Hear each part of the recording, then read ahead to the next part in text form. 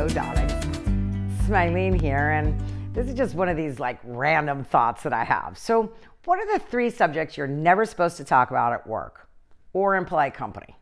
Politics, religion, and sex, right? Politics can always cause an argument. I've seen it happen way too many times. Religion, eh. Or sex, we know we're not supposed to do this, right? But we're not at work, and I'm not that polite. So, politics, you want to talk about politics? No, because I'm by myself and I really don't want to go off on a tirade on that one.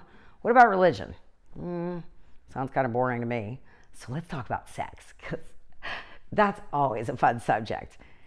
I think, but really, when you think about how many people have hangups about sex here in America, especially major hangups about sex, which I've never understood, okay? First of all, our bodies are made for this, okay? They really were. Second of all, it's awesome if you're doing it right, horrible if you're not. Kind of like food. Tastes really good if it is, but if it's made poorly, ugh, who wants to eat it? So think about it this way like when you have that special someone, and I'm talking about sex in the traditional way, which doesn't mean male, female. It could be boy, girl, girl, girl, boy, boy. I don't care, whatever your preference is. I just mean like not turkey basting. We're not procreating humans in the traditional way, I'm calling it, okay? It is the 21st century, so there are other alternatives, but we're just going back to regular. So think about that super special someone that you want to be naked with, right? It makes you smile. It makes you want to get dressed cuter.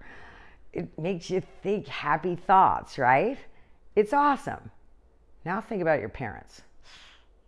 I don't know about you, but that just is wrong on so many levels. Like, why is it that you can think about that super special someone and it makes a smile on your face. And then you think about your parents and you're like, oh God, who wants to think about that?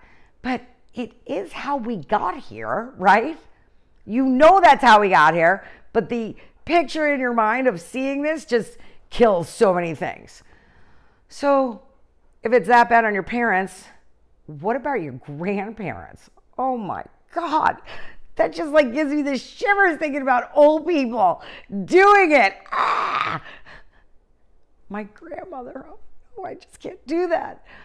But yet, we know that's how our parents got here, right? There's no way they got here without it being that way. Turkey basters weren't around in those days. And never mind, look at the TV show Grace and Frankie. One of my favorites, by the way, hysterically funny. It's a giant hit. So clearly, old people are still doing it.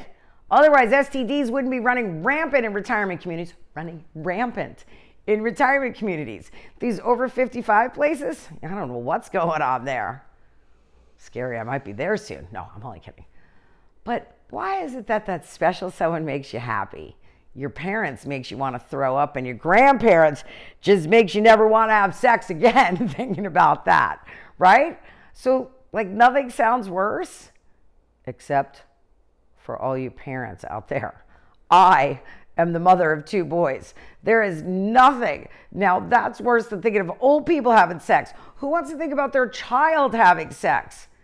It's just too much to bear. Oh, la, la, la, la, la, la, la, la, la. Get that image out of my mind. How about what's better? How about trying to talk to your kids about sex? I think that's worse than actually having the sex talk with your parents for the first time when you hit puberty. I thought that was bad enough, but oh my God, explaining this to your children, it's just too much, too much, but hysterically funny as well. So wait till we get the next ones. What should that be? Dating? Oh, that's always fun stories. Kids? Oh, the things they ask you about sex is unbelievable. So we'll see. Bye for now.